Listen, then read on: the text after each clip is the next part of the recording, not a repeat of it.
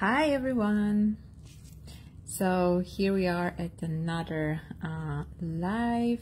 Today we're coming back to some fun colors with neon powders and um, or neon pigments and additionally we're going to enhance them with um, texture gel we're going to apply here clear and build this glass um, uh, look so I'm gonna be working here on a black background.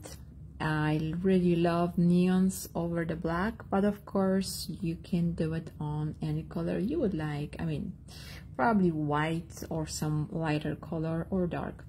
So what we're gonna do here is um, I'm gonna first on show on the first nail how I would prepare the background. That would be really quick. I'm just gonna take black gel polish and apply um, one thin layer cure it for, for um, 60 seconds and then apply um, matte gel top coat and buff the surface.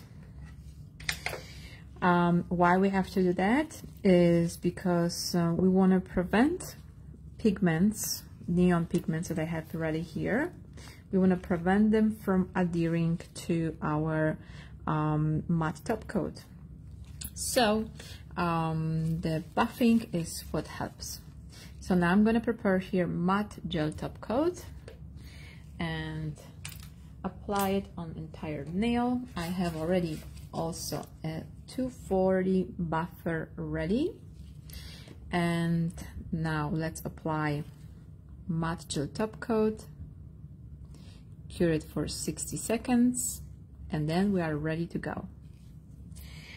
I have other nails already prepared, so I don't have to do that. It was just to show you the first nail, just in case if someone doesn't know that this is a good way to prevent neon powders from adhering to the background. So let's give it um, another 20 seconds and then we're gonna buff it. Okay, so um, I'm gonna be using here today also white gel polish. This is what um, I'm gonna create with, uh, I'm gonna use to create the design. Okay here this is perfectly cured now. Now now we're going to buff it. So again i'm using 240 and i'm buffing the surface of the top coat of gel top coat matte top coat uh, because i want to prevent that the chrome sorry not chrome that the uh, neon pigments adhere to it or stain it of course, we could also use the shiny gel top coat, that's totally up to you. Depends on your gel top coat, whatever works better for you. Okay, and now we are ready to go. So, um, as my gel, I'm going to be using uh, white gel from Charisma. I'm going to put some here on the side. I'm going to do some parts of the design with a dotting tool, brush, or we could even use the brush directly from here if it's a wider application if it's just a line um, then it's easy so let's uh, let me just make sure that this is perfectly clean just gonna give it a little wipe with cleanser. Okay. And now I would like to start with an easy decoration that is more like this abstract kind of wavy lines.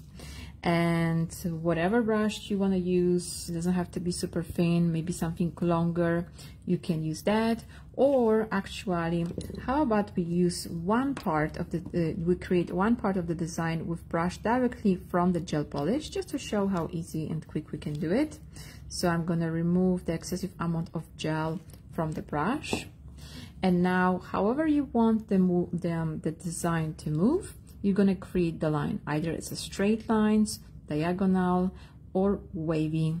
So if I would like to make a wavy line that comes from here, maybe a little bit wider, so I'm going to press my brush and then it goes a little bit more tapered. So I'm going to reducing the reduce the pressure of the brush and maybe even make like a little curve at the end. But again, this is just an example. I'm just playing around. And if you see that it's not perfect, don't worry. You're just going to take your liner brush and make um, the application more uh, perfect on the sides, adjust it, and that's it. Now I don't want to have just one stripe, so I'm going to take now with the liner brush another portion of gel and add another line next to it. So this line will be kind of following the first one and I want to make it a little bit thicker at the base. So you see like I'm applying a bit wider line here and then pull gently along the first shape with thinner and thinner and thinner line. But again, this is just um, depending on what you want to do. I'm going to do another one maybe here, just so we have a little bit more things happening on the nail. Okay, maybe here I'm going to add more thickness, just so we have more color.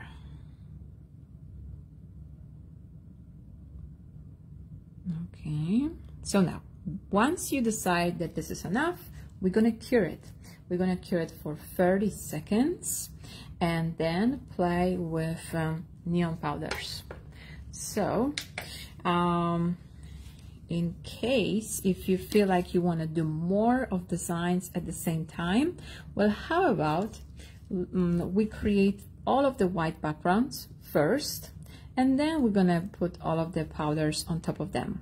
So I think this will make the process much quicker and also this is how you would do on the client. So let's go ahead and make, for example, the, um, the flower design. Then we're gonna do the low part as well.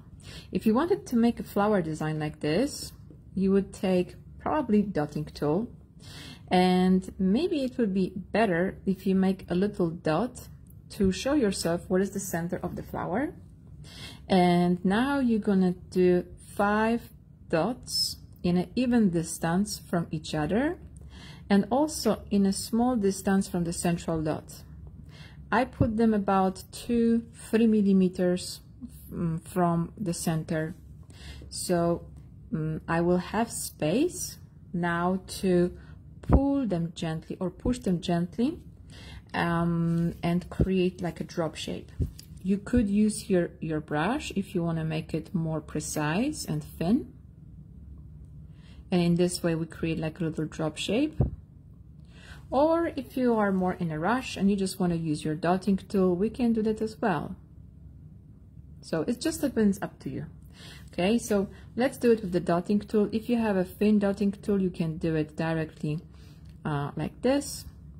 And you can also um, enlarge those dots and make them a little bit closer to each other. We don't want them to be too far away. Uh, we want to have a thin um, line of black in dividing all of those petals, but if there's too much black, then it will look funny. Now, once you created the simple petal, now you can play again. You can extend them a little bit in opposite direction and change it into more pointy or longer petal. We're just playing around here to make give a shape to this flower. So let me put this here. Okay, we're just preparing the base. And dotting tool is really um, nice to, to use for this work because we don't have to use certain pressure. We practically massage the surface of the nail with, um, with the dotting tool and it allows us to make a nice smooth application. Okay, so I think this is enough. I'm just checking if they are all similar mm, size. I don't want them to be too tiny because then it won't be fun to make the texture. So make sure they are not too small. Okay, and now let's cure it together with the other one. Okay, this one is cured. The first one is cured. Okay, let's put it on the side. Let's do the third one. The third one will be the um, like the leopard effect. Super easy, quick to do. How are we gonna do it? Well, we did a leopard the other day. The difference is that this one will be a little bit bigger.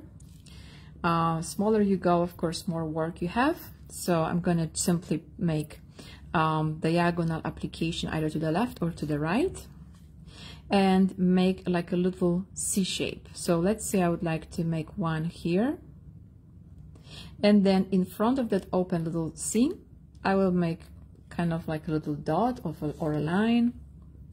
And then I will make a series of those going um, either to the left or to the right. That's really up to you. Since this one is going to the left, I'm going to make this one to the uh, going in the right direction. And I would like to concentrate bigger elements more in the center. And more I go um, down and to the sides, I will be using smaller elements like this.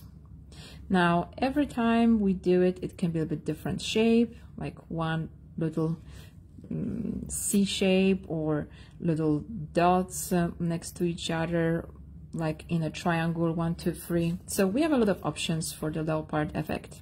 Let's just make sure that they don't touch between each other and that we can clearly see what we uh, what we're looking at. Okay, so now let's finish here those few more. And since we are doing texture, I don't want to make this too small because then it will be more difficult um, to play on top of it with the texture gel. So I'm gonna do a few more. Again, those are just little C shapes with a little dot um, in front of it. Sometimes we can just make like a little, little dot just to fill in that space. And this makes the decoration more complete. So now this is done. Let's cure it. This is just the background and it could be anything like even tiger, leopard, uh, we don't have leopard, um, zebra, whatever lines you would like to do. Okay, so this is curing. in the meantime, the flower cured. So um, now let's go ahead and play with pigments. In the meantime, the, uh, the other design is, is curing in the lamp. I'm going to prepare here my paper. It helps me to blend colors. And again, like we were explained a few days ago on the other demo, you can either use that fluffy open brush or one of those brushes. In the end, it's uh, whatever you find more easy. And here it is, our nail. I'm going to start from those lines and I would like to uh, fit here all, um, I, will, I will try at least, fit here all six colors. So I like to start from the lighter color and I will take a little bit of yellow on the tip of the brush. Okay, and put, for example, a little bit yellow on the center part. Then clean my brush, take a little bit of orange. Orange should be next to the yellow. They look well together. They blend well together. And I'm kind of like tapping with the orange around the yellow and blending this orange into into the yellow. Now I'm gonna clean my brush again and take a small amount of pink again more on the front of the tool of the of this ombre brush. I'm reducing the excessive amount of pigment on the paper so it's not too much. And now I'm going um, around the orange. And again gently tap tap tap tap tap. And then flip the brush and now pink is looking down and tapping around the orange small amount of pink. After we applied pink the next color we can use is um, violet. So I'm going to use here a little bit of violet again on the tip. So it can go behind the pink and the clean part of the tool is what is helping us to blend the color into the previous one. Now, after the pink, you should use the, um, the violet because violet would be nice transition into the blue and then from the blue to the green. So they will all have to use nice and look nice and peaceful. The only thing is that sometimes I notice that if I use directly blue into um, uh, violet into blue. Sometimes it's a little bit aggressive line. So what I like to do is mix on the side here, blue and purple, just a little bit. So it's not such a pure light blue, but it's slightly like stained with the violet. And that helps me to blend that um, color better, blend those two colors easier. Okay, and I still have space here for green. So I'm cleaning my brush here on the on the paper and now taking a small amount of green on the top leave the excessive amount and now place the green behind the blue okay so we have a fun colorful nail and we could have started alright also with green on the center. And now we're just gonna remove all of the excessive amount of the pigment. And this one is ready for the texture. So in the meantime let's take care of this one real quickly. And here maybe I would like to start um, use those uh, more um, flower-like colors.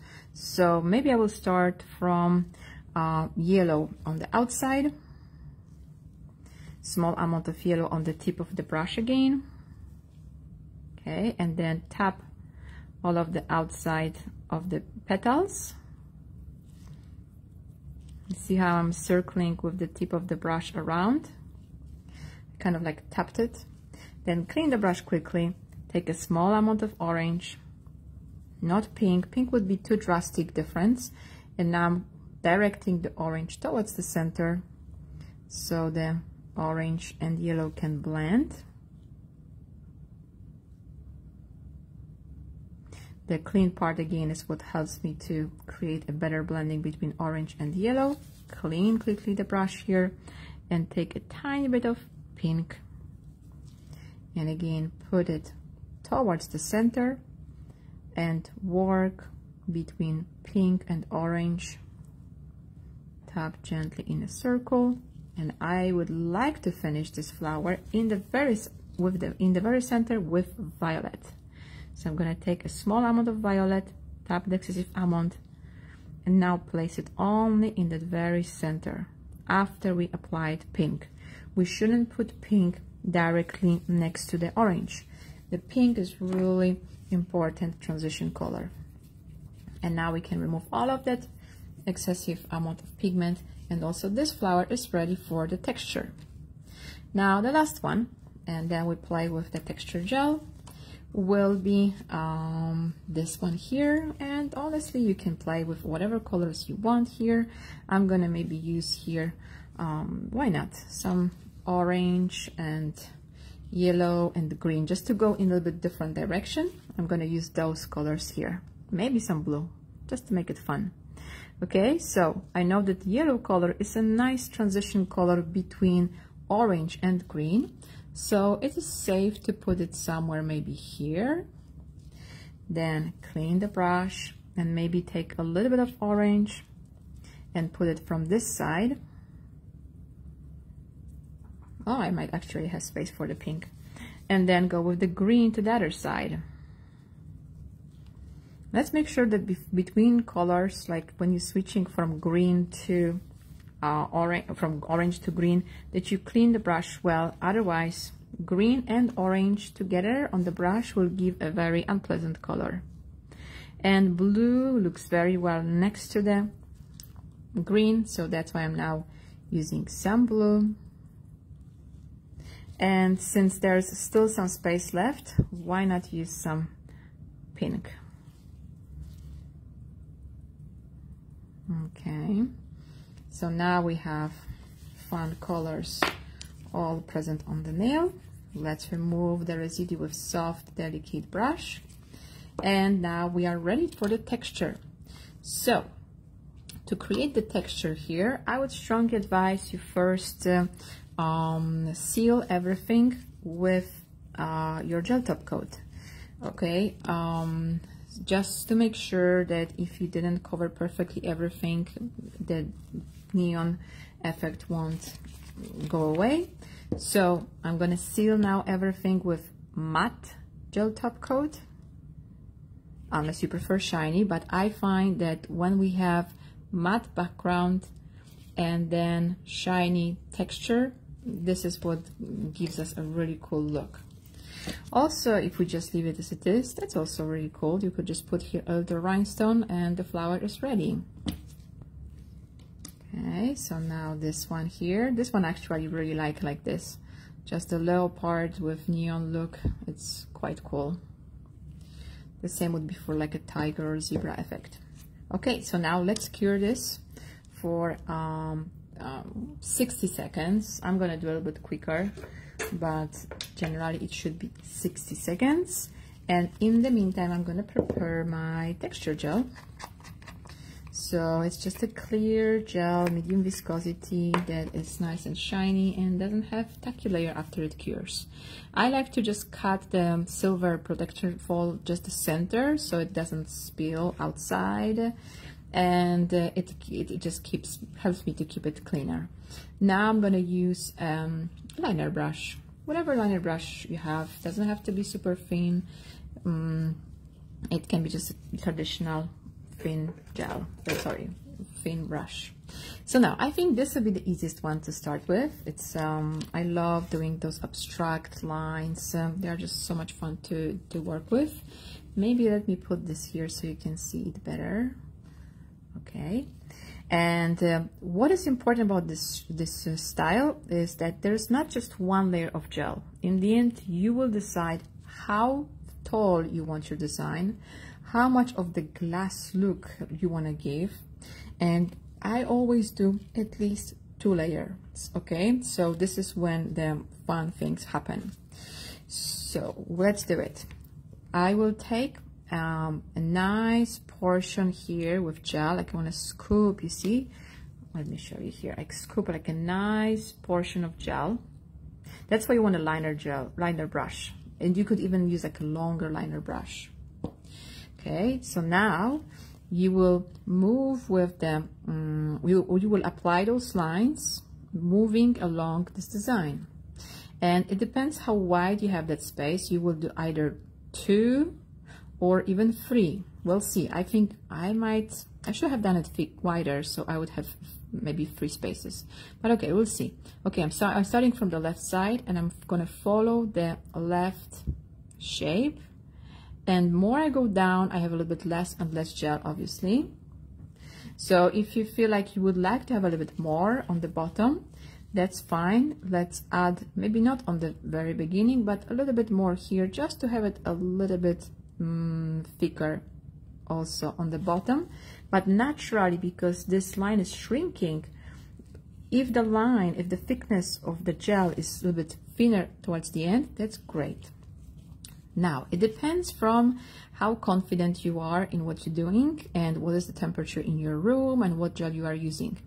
I think I'm confident to put the second line immediately at once without flash curing. But in case if you're using a more fluid gel, more liquid, you might consider flash curing in between those two lines. I did it very quickly it's nice and cold here. It's about 70 degrees and the viscosity is, as you can see, like a very medium, not too liquid. And in this way, I knew that I can apply the second lane and it won't connect with the first one. Now, let's do the same on those side lines. And then once we cure everything, we will do the second lane, the second layer, sorry, but it is important that it's not perfectly covering the first one. It will be kind of on the side, and this is when more interesting look happens. So, um, I don't want to make this line too thick, so let me just reduce a little bit the amount of gel on the brush. Let's show how much I have. Okay, it's nice and charged, but not too much. And now I start again from the top, and I will follow this neon line. I don't want clear to spill on the black matte um, surface underneath because then it kind of ruins the effect. And then if you feel confident, you can do it immediately on the second line, do it one time. If not, flash cure it for five seconds and that's totally fine. Okay, so I'm following the first, it's uh, the design underneath. Now flash cure it or cure it unless you have more designs more lines to file then fill then we can flash cure it for five seconds but since I would like to now do the second layer it's probably better to cure it at least what like one minute um, and then do the second layer that will give much more glass-like look and more dimensional. One layer only looks cool. It's already changed so much the way how the design looks. It was just looking cute but now it looks more particular. So now let's take it to another le level. So i'm going to take another nice portion of gel with the brush. You see how i'm dipping entire brush in the gel and pulling uh, out. And now we're going to start again from the top but don't cover it perfectly in the center. Maybe start like kind of like to the right side of the first layer. So what will happen is you have texture over the texture. Oops I messed it up. Um, I kind of entered on the other line. So how can we resolve this situation? Let's maybe take a silicone tool and try to divide those two lanes. Okay this is how we would fix it.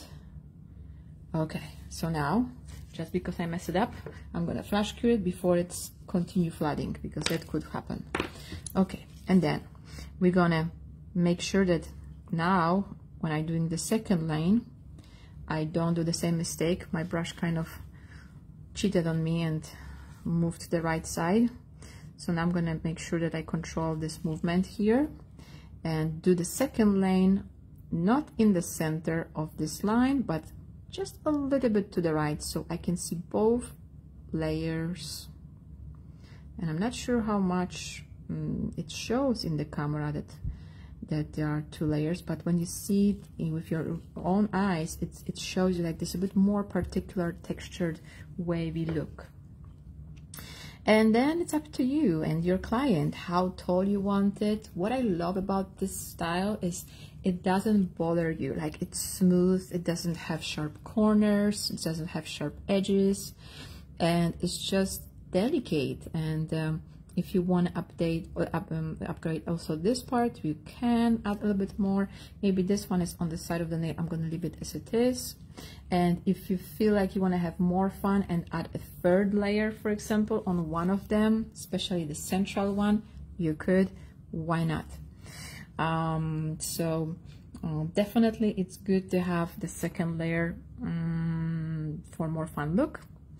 And just remember they have to be flash cured or cured in between layers. Okay so now we have something like this. And I'm gonna put it to cure for two minutes after I finish I just want to make sure that everything perfectly cured that it stays shiny. This gel has no tacky layer so I don't have to top coat it but if case if you would like of course you could. Just make sure that if you do that you don't use just the brush from the gel polish top coat or mm, but use it maybe a small brush. Okay so now let's work on the flower. On the flower it will be very very similar. We want to practically cover what we did with uh, white gel polish and neon powders. And um, to make it easy I like to put a ball of gel in the very center of um, the petal. And I kind of like swirl it around. And you feel if you feel confident to do more petals at the same time you can put another ball maybe not very close to the um, first petal but leave a little distance. And then I'm gonna take a risk and put it also on this petal, even if they are close to each other. Okay, and just make a little bubble. Then reduce the excessive amount of gel on my brush and delicately with the tip of the brush, push or pull the gel towards the tip of this petal and pull this bubble of gel towards the center of the flower, but not too much. You don't want to flood the center of the flower with too much gel because then it will just look heavy. So let's keep the very center a little bit more empty. So then you will have space to make, to apply a little pearl or a rhinestone or whatever you would like to have in the center of um, the flower. Now, once you do those three petals, let's flash cure them for about five seconds I'm just gonna check before I do that if everything looks good, if we covered perfectly that entire shape of the petal. Now let's cure it for five seconds. The five seconds will be just enough to freeze that gel and um, uh, this will allow us to make the application of other two petals easy. So now this is flash cured and now I'm going to put two bubbles of gel on remaining two petals.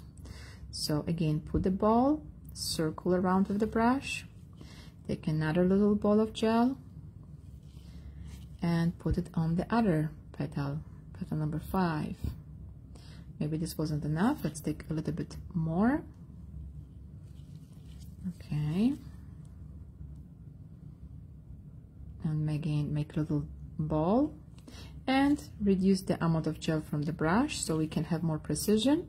So you can pull gel towards the tip of your petal, towards each side to make it nice and rounded as the base is, and then very delicately pull it towards the base. Let's do the same thing on the other petal. Push it to the tip, pull it in, push it to the side, to the left, to the right, make sure they don't touch between with other petals. And now let's cure it for about uh, one minute. And then we're gonna do the second layer. Again the second layer is what will make it look more fun. It's what will give it more texture. If it's just rounded it looks cool. Definitely it's a nice delicate um, nail art but if you want to have more particular look to your petals the second layer definitely adds oh that was unfortunate um, adds a little bit extra. So how to do that? Let me zoom a little bit more. Uh, I will take a small amount of gel on the liner brush not too much like before. And now decide where would you like to add the texture in your petal doesn't have to be perfectly in the center. It could be slightly to the left or to the right of this petal. I'm going to, for example, put it slightly to the right and I'm going to put the bubble from the outside, leave it there and delicately pull with the tip of the brush the bubble towards the center and do it a little bit slower so this amount of the, the gel can become a little bit thinner and thinner and thinner slimmer towards the center. Okay, you see how it's like a drop shape? Let's see from the side if you can see it. Let's flash cure it just to make sure. In the meantime, prepare your brush with another portion of gel, not too much, we don't want to have too much. And now this is flash cured. Let's make the same on another petal. So again, start from the outside, leave the major amount of gel there, and then pull with the tip of the brush a small portion of gel towards the center. If you feel like the gel didn't follow you, okay, let's pull it a little bit more. Okay, again, if you feel confident that you can do another petal at the same time, go ahead. Otherwise, flash cure it and then continue to make another petal. I know that here the temperature is good, so I think I should be good to make all of the petals in the same time. And you see how easy it is. I'm just taking a small amount of gel putting it on the external part of the petal leaving that part there and then just using a small amount to drag towards the center. And this is what gives us this more textured glass-like look. So we're gonna cure it. Of course this is like the most simple flower we can do in this style. We can create so much more and much more textured and complicated, but I think this is a really salon user-friendly one. So that one is curing right now for 10 minutes and this one in the meantime cured, the first, first one we did. And now let's continue to our leopard um, one. That actually, this one is just super easy. You practically um, can decide how many layers you want to have, even if it's just one. It also looks cool. I'm simply gonna um, use, okay, a little bubble and apply it on every part of this leopard. So maybe um, it's better if you don't make two small low part designs for for this particular effect because then it's you kind of sabotage yourself. You're going to have much more work to do later. You could also um, instead of using the texture for this particular one you could use um, shiny top coat and just do those little um, leopard um, texture I don't know how to make those little effects with um, with that. Or just leave it like it was. It was actually really cool as well. So now I'm just following all of those shapes and and just giving a bit more glass-like look. Bigger they are of course easier. That's why I didn't do them as small tiny leopard um, designs and here you could use a little bit shorter brush just to have better control over what the mm, about the gel application.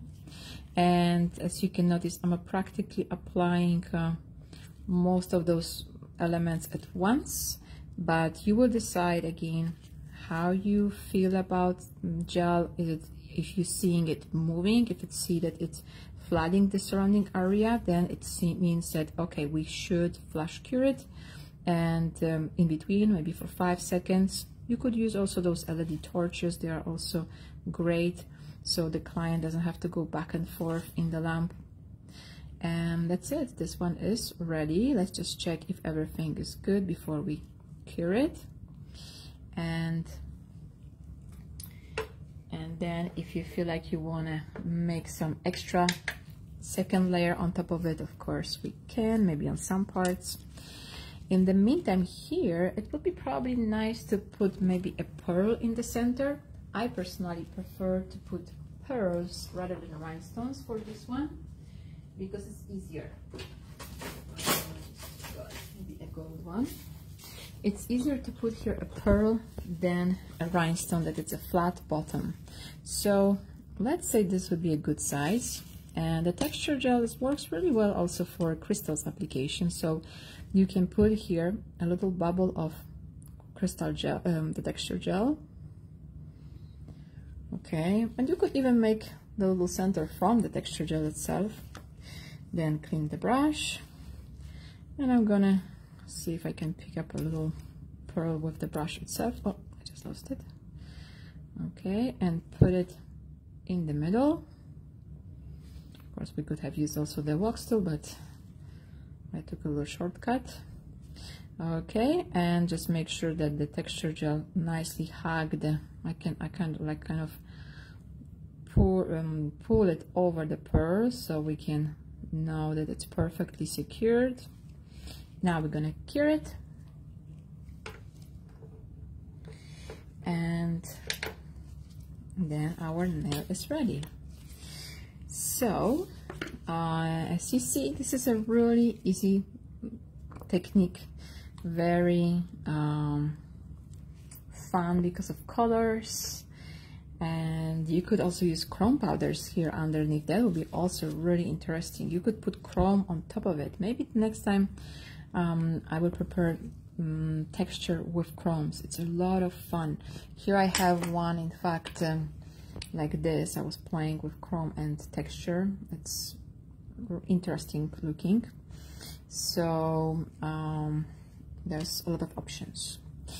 Okay so those were just examples of course. I'm sure you uh, can create a lot of different um, options for this technique. I hope you will enjoy working with it if you haven't tried it before.